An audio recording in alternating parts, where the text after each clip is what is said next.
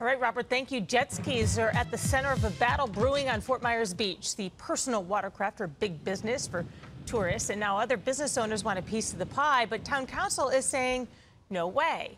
NBC2's Lindsay Fry looks at why.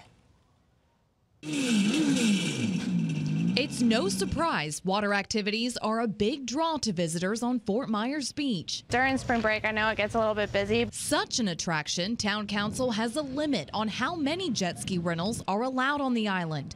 No more than 10. I think it's really good that they only have 10 out here, and I don't think that they need any more. But not everyone agrees. The owner of Fish-Tale Marina says that number should change, allowing the four marinas on the beach to also be able to rent jet skis. I feel like it's a great idea, especially with how busy it gets throughout the year. The owner of Fish-Tale Marina wants his business grandfathered into an ordinance, which went into effect more than two decades ago. They asked the town to uh, validate that right. But in a three to two vote, town council voted against the idea, but said it will have a future workshop to address any concerns about their decision. I feel like they should re- uh, reconsider. On Fort Myers Beach, Lindsay Fry, NBC2.